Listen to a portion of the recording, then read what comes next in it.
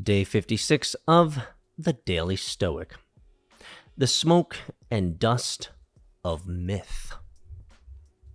Quote, Keep a list before your mind of those who burned with anger and resentment about something, of even the most renowned for, for success, misfortune, evil deeds, or any special distinction.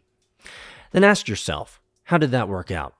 Smoke and dust, the stuff of simple myth, trying to be legend. Marcus Aurelius, Meditations 12.27. In Marcus Aurelius's writings, he constantly points out how the emperors who came before him were barely remembered just a few years later. To him, this was a reminder that no matter how much he conquered, no matter how much he inflicted his will on the world, it would be like building a castle in the sand, soon to be erased by the winds of time. The same goes for those driven to the heights of hate, or anger, or obsession, or perfectionism.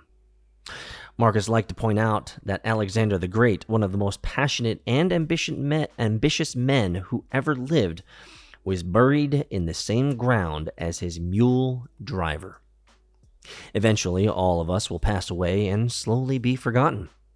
We should enjoy this brief time we have on earth, not to be enslaved to emotions that make us miserable and dissatisfied. Man, I, you know, one of the things that I love so much about the Stoics is the raw and unashamed, just terseness about the realities of life.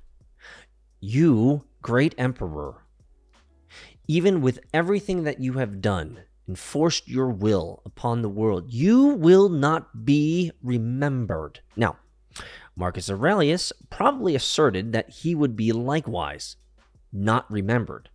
Interestingly enough, we have his writings here because they've survived. So he ended up becoming truly a legend. But you and I are not Marcus Aurelius. I'm just me, Petey, reading his work, right? And you're you. Maybe you're going to be awesome. Maybe you're going to be a legend in the future. I don't know. And I hope you will be if that's what matters. But let's be honest, guys. It's right here. The last quote of Marcus Aurelius in Meditations 12.27, right here. Let's read it. Smoke and dust, the stuff of simple myth, trying to be a legend.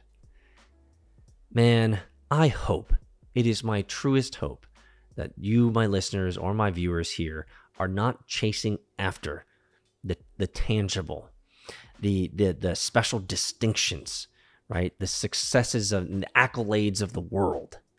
Nonsense. That's what it is. All of that is worthless. You already know what the most important thing for you is, and it's not none of none, it's not none of that. It's the here and now. It's the relationships you have. It's the it's it's it's your wife, your your husband, your spouse, your kids. That's what matters. Not all the hours you put into work.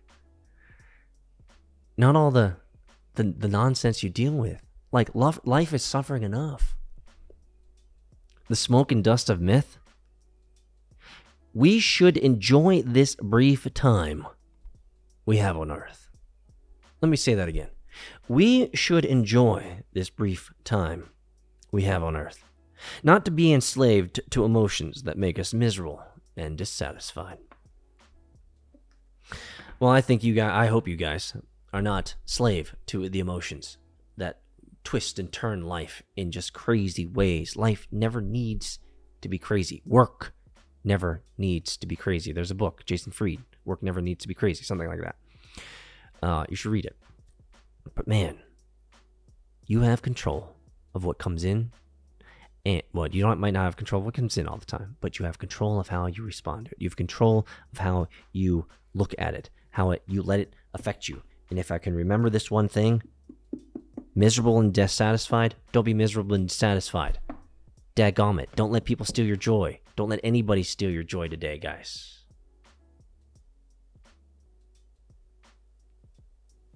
See you in Discord, MetaFam.